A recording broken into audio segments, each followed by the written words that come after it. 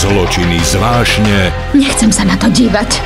Sme ďalší na rade. Aj dlho plánované brutálne vraždy. Určite tie prípady súvisia. Neznámy zavolal rodinám. Nežiadal výkupné. Skôr sa im posmieval. Čo vedie páchateľov k takému ohavnému činu? Vrah vníma jeho smrť ako milosrdenstvo. Myšlienky vraha v pondelok po 23. na Jojke.